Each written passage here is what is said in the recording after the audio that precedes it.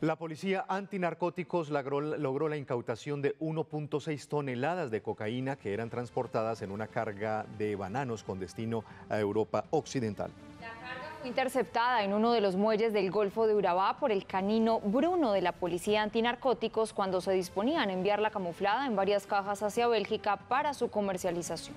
La policía antinarcóticos se encuentra realizando las investigaciones para determinar la estructura delincuencial encargada de este envío al exterior.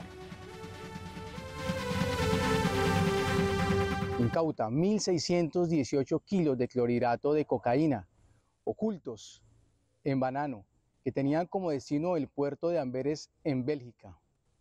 Esta importante incautación afecta a las estructuras multicrimen en aproximadamente 274 mil millones de pesos.